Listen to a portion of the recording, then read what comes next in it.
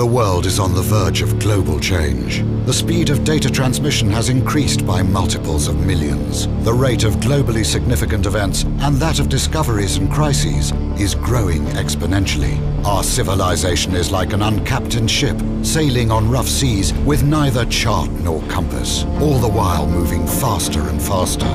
The time we have to make the right decisions is shorter and shorter we are facing the choice to fall into a new dark age, into affliction and degradation, or to find a new model for human development and create not simply a new civilization, but a new mankind. Historic crises show that to break the deadlock, we need technological revolution. It is clear that today's revolution will also require the deepest social transformation. The world's community and leaders should encourage mankind instead of wasting resources on solving momentary problems.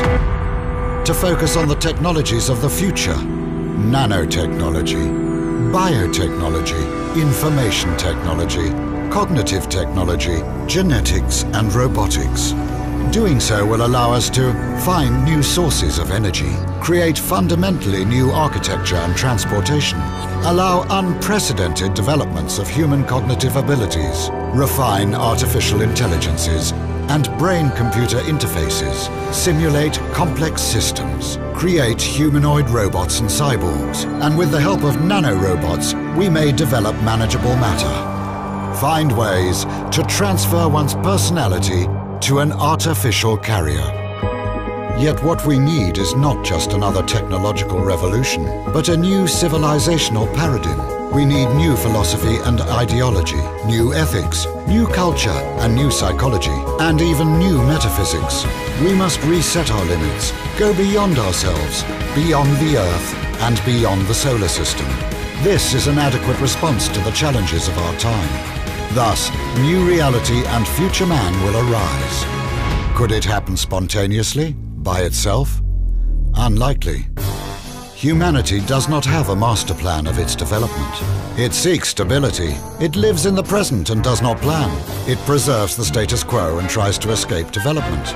It does not tend to map future centuries and take responsibility for evolution. In consumer society's culture, there is no evolutionary vocabulary and rhetoric. To break the deadlock, the Russia 2045 movement was founded. It is a mega project intended to reach new heights and meanings. We intend to create a new vector for civilization, aimed at constant human development and evolution. As happened with the mega projects of the last century, the nuclear and the space programs, we integrate the latest discoveries and developments from the sciences physics, energetics, aeronautics, bioengineering, nanotechnology, neurology, cybernetics, cognitive science. May everlasting spiritual ideals and values help us avoid going astray. Our project will give new meanings to the millions of people on Earth, will become a result of their joint creativity, and will lead us out of the impasse. Away from the murder of nature and physical death, forward to the realm of freedom and creativity, to the depths of the ocean and to the stars, to the infinite universe of our inner world. Our forecast for the next 40 years. February 2012. Global Future 2045 Congress is held in Moscow. It is a debate platform for discussion of our civilization's prospects for development. 2012 to 2013, the global economic and social crises are exacerbated the debates on the global paradigm of future development intensifies. New transhumanist movements and parties emerge.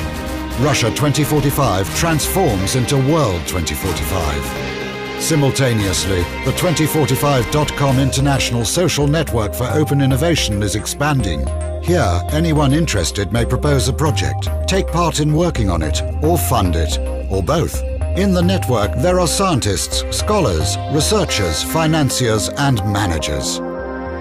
2013 to 2014. New centers working on cybernetic technologies for the development of radical life extension rise.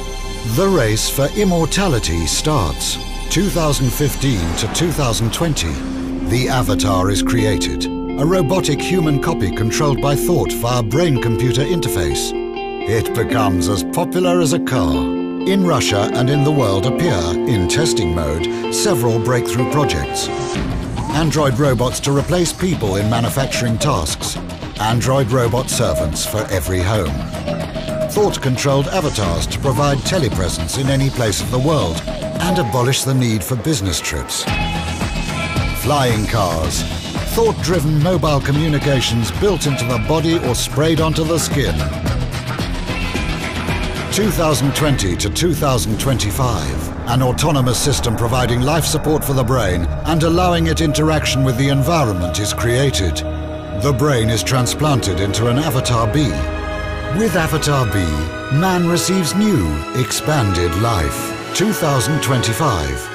The new generation of avatars provides complete transmission of sensations from all five sensory robot organs to the operator. 2030 to 2035.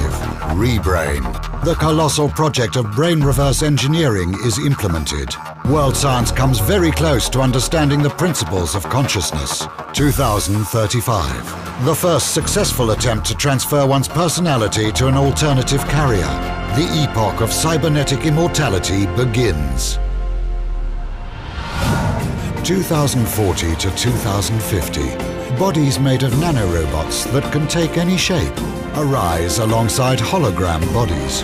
2045 to 2050, drastic changes in social structure and in scientific and technological development. All the prerequisites for space expansion are established. For the man of the future, war and violence are unacceptable. The main priority of his development is spiritual self-improvement. A new era dawns. The era of neo-humanity.